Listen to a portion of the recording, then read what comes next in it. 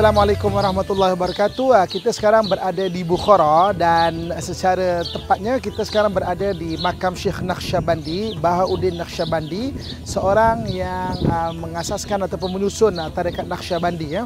Jadi tarekat adalah satu cara untuk kita menghampirkan diri kepada Allah Subhanahu Wa Taala yang berbentuk akhlak dan tarekat ada disiplin untuk berzikir kepada Allah Subhanahu Wa Taala ada dua jenis uh, tarikat. Satu tarikat yang hanya berzikir saja dan bersalawat pada Nabi sallallahu alaihi wasallam dan ada juga tarikat yang bukan saja zikir tapi ada berkaitan dengan falsafah.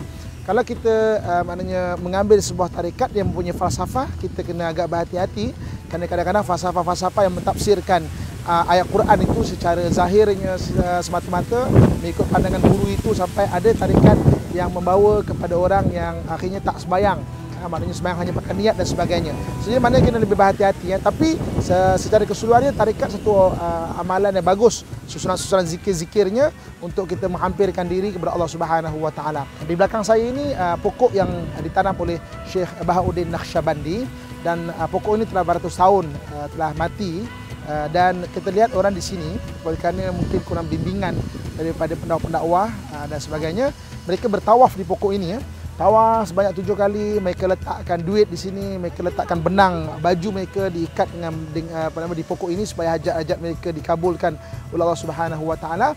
Begitu juga mereka uh, maknanya mengambil pokok ini mereka usap uh, pokok ini untuk mendapat keberkatan daripada pokok ini. Dalam uh, ahli uh, akidah ahli sunnah wal jamaah untuk mendapat sesuatu keberkatan kepada benda itu bukan kita datang kita usap kan uh, kita ambil batu dan sebagainya ad, uh, berkat datang daripada adab. Dengan menjaga adab satu benda itu, maka lahirlah keberkatan. Uh, seperti kita ingin mendapatkan keberkatan majlis ilmu, kita jaga adab pada majlis ilmu itu. Ingin mendapat keberkatan uh, daripada rezeki, kita jaga adab dalam menjaga rezeki. Ingin menjaga mendapat keberkatan daripada keluarga, kita menjaga adab dalam keluarga. Ingin uh, mendapat uh, keberkatan daripada guru, kita menjaga adab pada guru itu.